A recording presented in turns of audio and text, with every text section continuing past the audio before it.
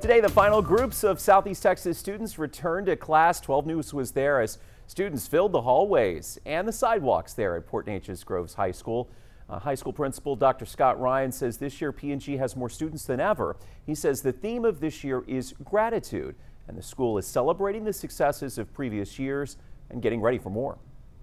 Kids are uh, getting here. They got excited looks on their faces. The teachers are absolutely fired up and ready to go. Uh, can't thank the staff enough. We got an awesome staff. We got a great district team. We're just we're just ready to roll. Dr. Ryan tells us they have a lot of students involved in extracurriculars. One of the most popular clubs happens to be their esports team with about 100 students.